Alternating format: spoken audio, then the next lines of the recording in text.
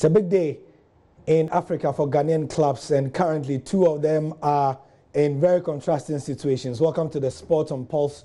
I'm Gary Al Smith. Asante Kotoko are currently in the penalty shootout with their Congolese uh, counterparts. It ended again just as it started in the in the first leg. Kotoko won by a goal to nil. Kara also won by a goal to nil in regulation time 19 minutes and so they went into penalties. As we speak, the score is that Kara and Kotoko are deadlocked and they are playing for, well, to find out who's going to miss the most right now. We are going to get an update on that. Three. Kotoko 4-4 with Kara at the moment. Kotoko have scored four and Kara of Brazzaville have scored four as well. The Porcupine Warriors have missed two. The Congolese have also missed two penalties. Meanwhile, in Dormaa, Aduana Stars are winning. They've scored two goals, one from Elvis Opoku and the other just two minutes ago from Wahab Adams, means that it's 2 0 to Aduana Stars. And they are leading by two goals to one on aggregate. So as it stands, Aduana are going through in the CAF Confederations Cup. Kotoko are deadlocked in the CAF Champions League. Throughout this bulletin of um, seven minutes or so to go, I'll be letting you know what happens to the Porcupine Warriors and to uh, the team from the Brong Ahafo region. The other thing that we'll be looking at is the Champions League.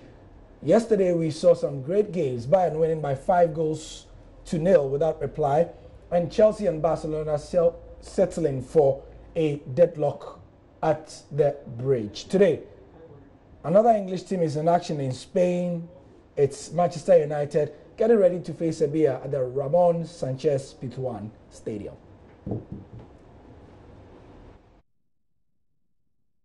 Manchester United have the tough task of facing Sevilla in the first leg of their UEFA Champions League last 16 tie, set to take place at the Estadio Ramon Sanchez Pizjuan.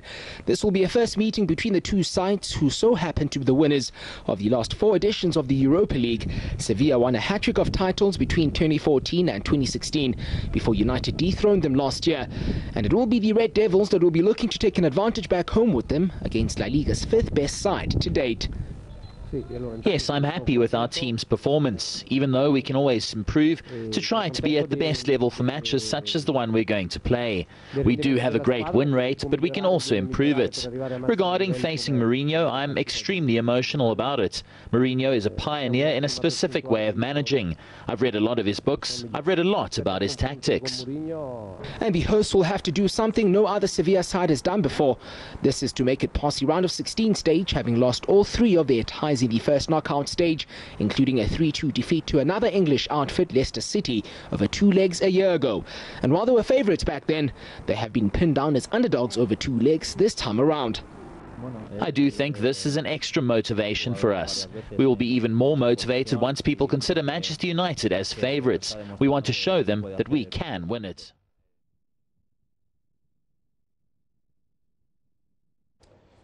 So we go to Dormaa right now to speak to Delali Atiase, a man from Love FM who is there covering the Aduana game. And also we update you on what's happening with Kotoko. Kotoko have missed again one of their penalties. Kara have also missed theirs. So we are deadlocked. Kotoko have now scored again and we are waiting for Kotoko's, um, for Kara to play theirs and we see what's happening. But Delali Atiase, we understand it's 2-0 where you are. Well, I'm the story here at the Nana Ajman Park inside the Aduana Stars are leading by two goals to zero. In the first 45 minutes, it was a barren game with both goalkeepers not really being tested by either of the two sides here.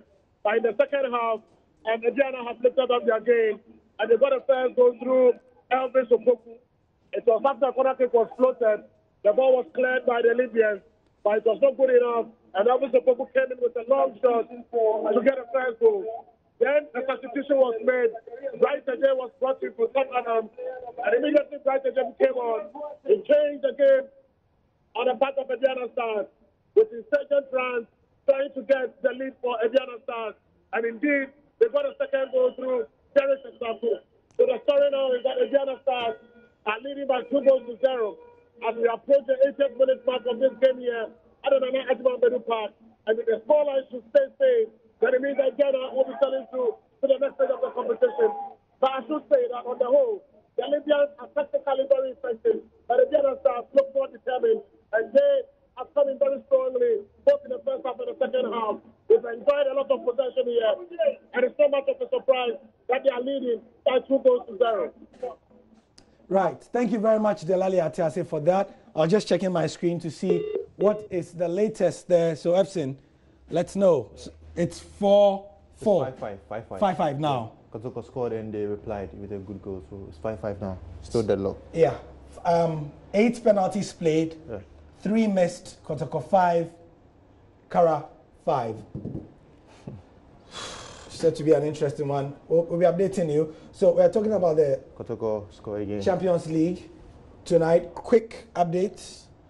Uh, on, on, on that one, we know that Pogba will be available today. Eric Bailly, a lot of people say, even if it's half fit, he should be playing. Of course, because you look at the Manchester United defensive setup and people have not been impressed with the partnership of Smalling and Jones because they, they have been giving uh, their opponents a lot of goals lately, especially in the game against Newcastle. It was the deadly error by Smalling that gifted Newcastle the opportunity to score there. So I think going to a stadium like the Manuel Sanchez Pizjuan, you need a, a fit Eric Bailly to be available for you to to thwart the most of of the the experienced Sevilla side. Because if you look at the Sevilla side, they have Premier League experienced players in there. They have Nolito, there is there is Nzonzi, who all formerly played for Stoke City, and Jesus Nava. So you have to be very careful there.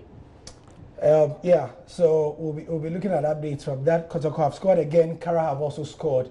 It's 6 6 now in that game. I, I, I think that it would be fair to say that Kotoko will be ruining their missed penalties here. Of course, because you, they were awarded four penalties, And they scored they could only score they could only score one, and uh, people have been complaining, and the coach, everybody will be ruining us if Kotoko do not progress, Progress to to this stage. to this. All right, thank you, Fifi. Yeah. And then head over to myjoyonline.com where we'll be giving you an update of the final whistle. Kotoko have just missed their 10th penalty. Um, we are waiting for Kara to play theirs, and we hope for the best for the Porcupine Warriors. I'm Gary Al Smith.